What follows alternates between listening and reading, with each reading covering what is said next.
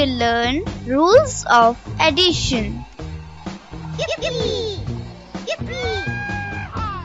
While adding, if we change the order of numbers, answer will not change.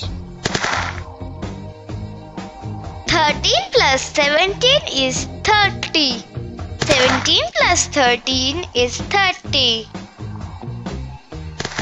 4 plus 5 is 9. 5 plus 4 is 9. If we add 0 to any number, it will give the same number. 21 plus 0 is 21. 33 plus 0 is 33. If we add 1 to any number, we will get the after number of that number. 8 plus 1 is 9. 9 is the after number of 8. 25 plus 1 is 26.